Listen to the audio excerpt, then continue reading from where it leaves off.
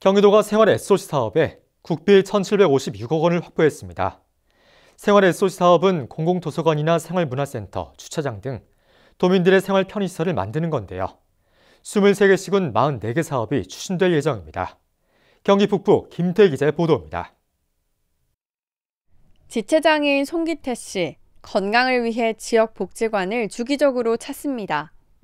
하지만 장애인을 위한 기구들이 없어 이용에 어려움이 많습니다. 기구들도 휠체어 타고 갈수 있는 그런 기구들이 구비가 안 돼 있으니까 일반 체육시설을 이용할 수 없었거든요. 그 재활치료를 받으러 의정부나 서울 쪽으로 많이 다녔거든요. 이곳은 생활사회 간접자본인 SOC 사업에 선정돼 장애인을 위한 체육시설과 재활치료를 받을 수 있는 돌봄 통합센터가 들어섭니다.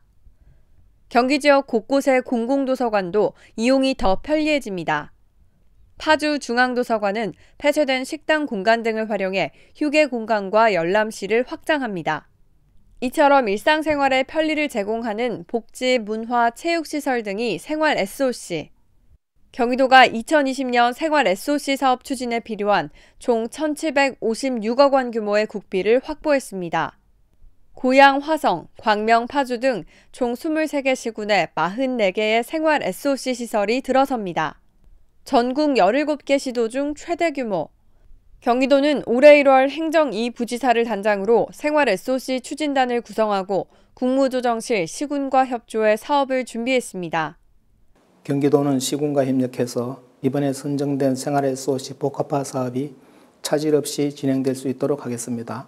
또 앞으로도 경기도에 더욱 많은 생활 SOC 사업을 추진하여 도민들의 삶의 질이 향상될 수 있도록 하겠습니다. 경기도는 내년부터 국비와 지방비를 합쳐 총 5,719억 원을 투자해 생활 SOC 사업을 추진할 계획입니다. 경기주TV 김태희입니다.